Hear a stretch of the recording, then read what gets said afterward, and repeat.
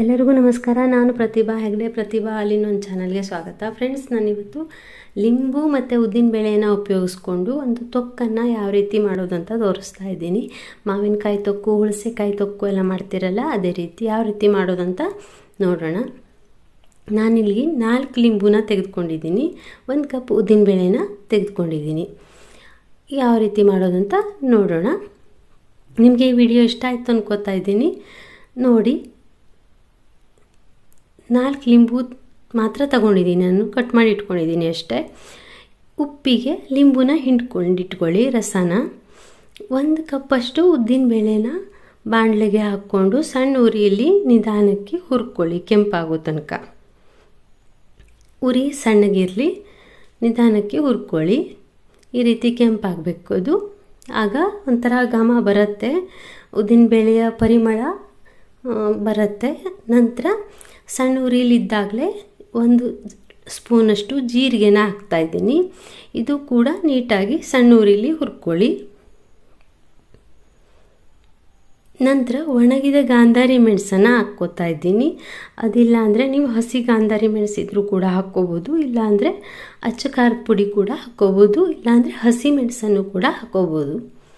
ನಾನು ಒಣಗಿದ ಹಾಕ್ಕೊಂಡಿದ್ದೀನಿ. ಲಿಂಬುನ ಹಿಂಡಿ, ಉಪ್ಪಿಗೆ ಹಿಂಡಿಟ್ಕೊಂಡಿದ್ದೀವಲ್ಲ, ಅದನ್ನು ಒಂದು ಕಪ್ಪಿಗೆ ಹಾಕ್ಕೋತಾ ಇದ್ದೀನಿ. ಒಂದು ಕಪ್ಪಷ್ಟು ರಸ ಬಂದಿದೆ. ಇದು ಹುಳಿ ಜಾಸ್ತಿ ಬೇಕು ಅನ್ನೋರು ಇನ್ನೂ ಹಾಕ್ಕೋಬೋದು, ಏನು ತೊಂದರೆ ಇಲ್ಲ. ನಂತರ ಉದ್ದಿನಬೇಳೆ ಮೆಣಸು ಮತ್ತು ಜೀರಿಗೆನ ನಾನು ಹಿಟ್ಟು ಮಾಡ್ಕೋತಾ ಇದ್ದೀನಿ. ಮಿಕ್ಸಿಗೆ ಹಾಕಿ ನೋಡಿ, ನುಣುಪಾದ ಹಿಟ್ಟಾಗತ್ತೆ ಅದು. ಹಿಟ್ಟು ಹಾಕಿ ಮಾಡ್ಕೋತಾ ಇದ್ದೀನಿ. ನಂತರ ಈ ಸ್ವಲ್ಪ ಲಿಂಬು ರಸವನ್ನು ಅದಕ್ಕೆ ಸೇರಿಸಿ ಮತ್ತೆ ರುಬ್ಕೊಳ್ಳಿ. ಈಗ ಒಗ್ಗರಣೆಗೆ ಏನು ಹಾಕೋದು ಅಂತ ನೋಡೋಣ. ಎಣ್ಣೆ ಹಾಕ್ಕೊಂಡಿದ್ದೀನಿ, ಜೀರಿಗೆ ಮತ್ತು ಇಂಗನ್ನು ಹಾಕ್ಕೊಂಡಿದ್ದೀನಿ. ಇಂಗನ್ನು ಒಂದು ಸೌಟಿನ ಸಹಾಯದಿಂದ ಸ್ವಲ್ಪ ಚೂರು ಮಾಡ್ಕೊಳ್ಳಿ. ಪುಡಿ ಹಿಂಗಾದರೆ ಏನು ಅವಶ್ಯಕತೆ ಇಲ್ಲ. ಜೀರಿಗೆ ಕೂಡ ಹಾಕ್ಕೋಬೋದು. ಹಾಕಲೇಬೇಕಂತೇನಿಲ್ಲ. ನಂತರ ಕರಿಬೇವು ಹಾಕ್ತಾಯಿದ್ದೀನಿ ನಂತರ ಬೆಳ್ಳುಳ್ಳಿ ಪೇಸ್ಟನ್ನು ಹಾಕೋತಾ ಇದ್ದೀನಿ.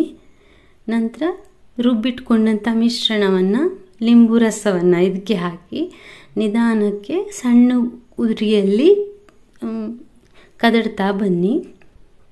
ನೋಡಿ, ನೀವು ಮಾಡ್ತಾ ಇದ್ದಾಗೆ ಸಣ್ಣ ಉರಿಲಿ ಮಾಡ್ತಾ ಇದ್ದಾಗೆ ಇದು ದಪ್ಪ ಆಗುತ್ತಾ ಬರುತ್ತೆ ಮಿಶ್ರಣ.